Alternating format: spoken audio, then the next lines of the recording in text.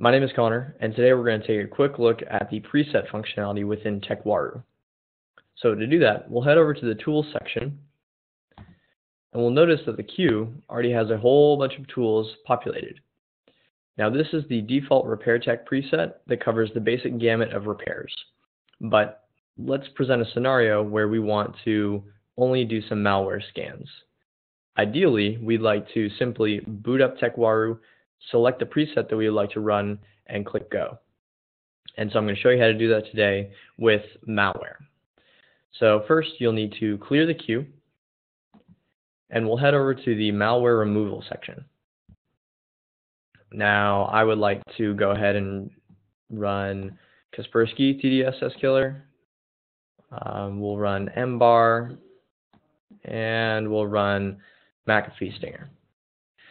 So this is a basic malware repair. It might not be the tools that you would choose, but this is what we're going to run with today. So next you're going to want to click Save as a preset. We'll select a new preset, and we'll save this as a malware repair. Now we're going to go ahead and not save that as default because malware might not be the typical use case, but if you wanted to, you could click Save as default, and when TechWaru loads, the malware repair preset would be the queue that would load up. So we'll uncheck that this time, and we'll click Save. And so now we can simply run this queue, and we will be able to start that process of TDSS Killer, MBAR, and McAfee Stinger.